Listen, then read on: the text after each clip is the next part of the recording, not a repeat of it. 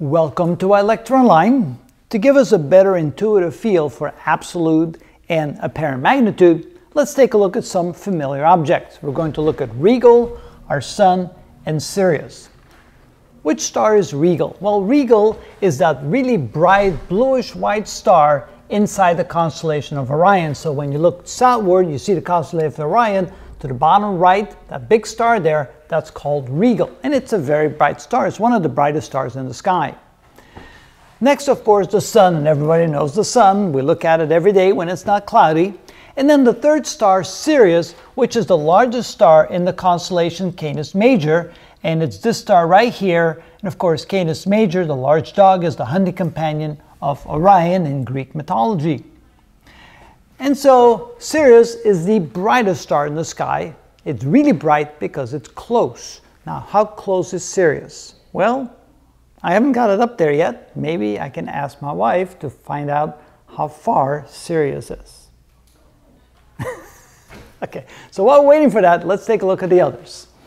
Absolute magnitude for Rigel, minus 6.69. So again, that's if we were to place Rigel at a distance of 10 parsecs, that's how bright it would appear. It would be much, much brighter than Sirius, which is the brightest star in the sky. So Rigel is a really bright star.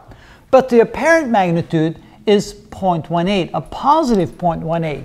That's still one of the brightest stars in the sky, but it would be much brighter if we brought it closer to a distance of 10 parsecs. The reason why the apparent magnitude is a much larger number than the absolute magnitude is because it's at a distance of 772 light years, which is way more than 32.6 light years, which is 10 parsecs. Yes? 8.611 light years. 8.6, that's good enough. 8.6 light years. Thank you. All right, how about the sun? Well, the sun has an apparent magnitude of minus 26.75. That is huge. That is really bright. Of course, the sun is only one astronomical unit away from us, and that's why it's so bright.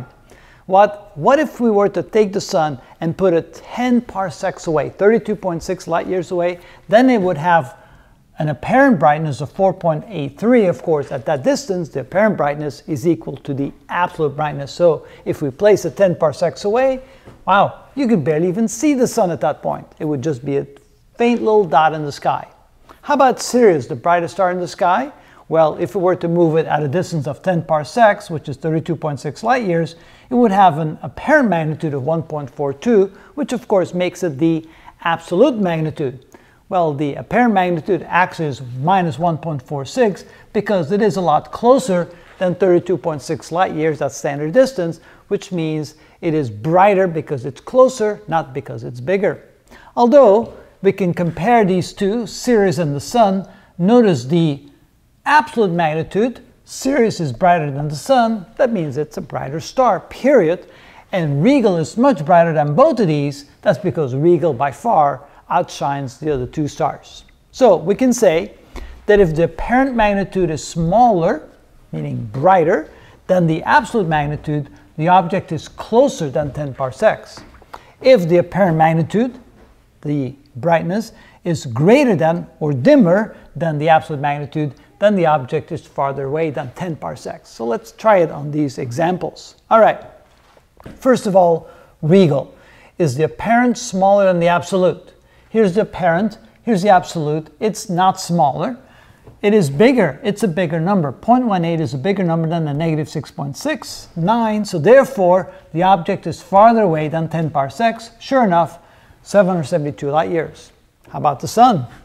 Well, here we can see that the apparent is a much smaller number than the absolute because negative is smaller than a positive number. So therefore, the object is closer than 10 parsecs. And sure enough, the sun is only one astronomical unit away, much closer.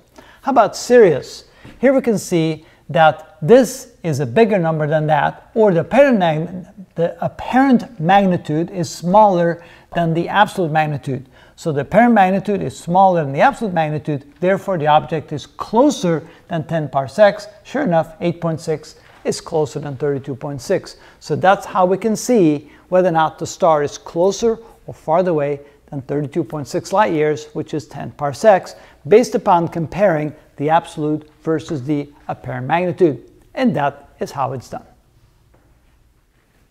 Recognize them? Yes, I do. All right. But they're not that close in the sky. Uh, no, a little bit there, a little bit further away, but I ran out of board space.